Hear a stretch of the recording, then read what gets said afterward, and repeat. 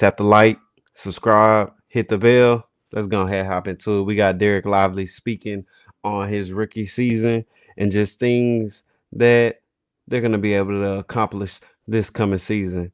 Boy, it's gonna get a little spicy. Let's lock in. A major run all the way to the NBA Finals. For a young player like you, how valuable is that kind of experience? Honestly, it's a lot. You know, it takes a lot of time to be able to learn, to be able to process, and just being able to just apply it to the game.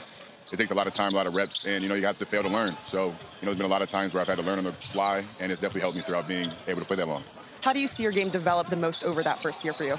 Uh, being able to just expand it slowly, you know, figuring out what I can do well, and then slowly getting better at my weaknesses. No matter if that's me making reads out of the short uh, short roll, no matter if that's me making the reads out of the dunker, or just making pick and roll reads. It's just figuring out what's going to happen on the floor and just establishing, establishing it in my game. You guys got a really big acquisition this summer, Klay Thompson coming to Dallas. How exciting is it to think of him joining the already talented team you have, Luka, Kyrie, that trio right there? You know, just being able to play off of them and just see how defense is going to change because the players on the floor is so exciting to think of. Just exciting to think about how we're going to pick it apart and just see just how many, how well we can play together. I'm just excited.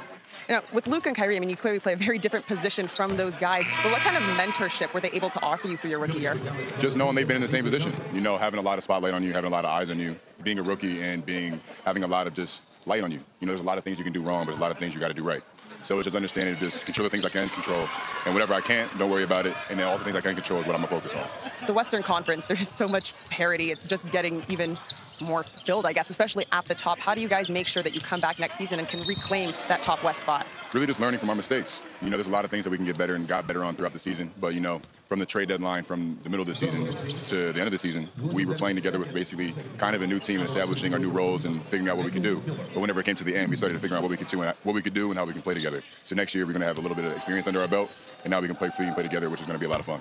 And for you specifically, what are your goals for your second season? Just really just trying to expand on what I can call my game. You know, there's a lot of things that a lot of question marks. If I can shoot, if I can't shoot, if I can become stronger. But I'm just really just trying to own the paint and just try to play off of the great players that I have on the floor. You know, if I can make a couple threes, I'm gonna make a couple threes. But I know the paint's gonna be wide open, so there's gonna be so much, you know, so many players on the outside of the three-point line. I got to be able to own the paint. So that's my job, and that's what I'm gonna try to do. Awesome. Thank you so much, Derek. Of course. Have a good one. Hey, if you stay to the end of the video, tap the like, subscribe, holla. We out.